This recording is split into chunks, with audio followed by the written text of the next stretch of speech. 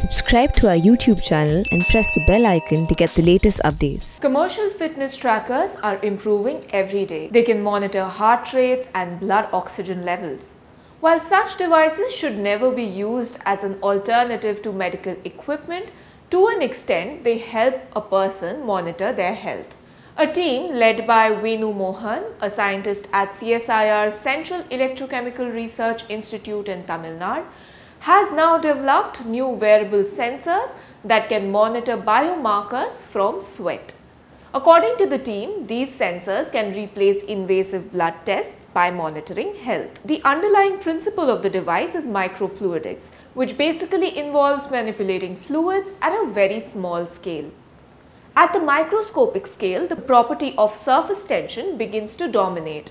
The way a liquid flows at such scale also changes and these properties are used by scientists to develop new devices.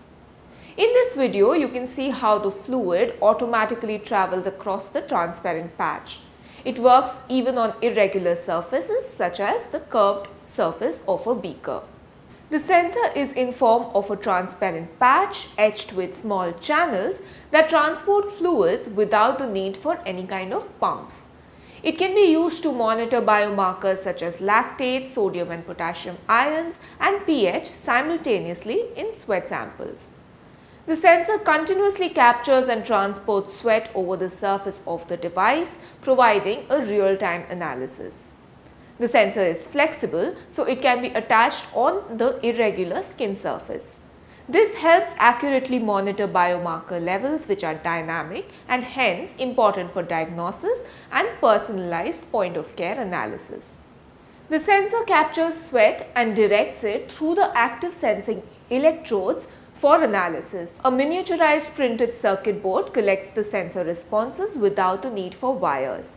Since there are no wires, the data collected is relatively noise-free. That is, there will be fewer inadvertent errors during data transmission. The device is mounted on the skin. This patch can then measure the variations in sweat composition at the underarm and upper back.